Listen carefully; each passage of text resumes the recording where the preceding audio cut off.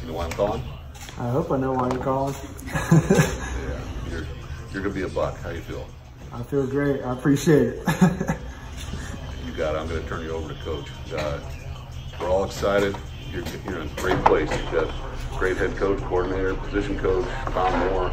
We're, we're all excited to have you here and uh, looking forward to seeing you, bud. yes, sir. Hell yeah. Let's do it. All right, here's coach.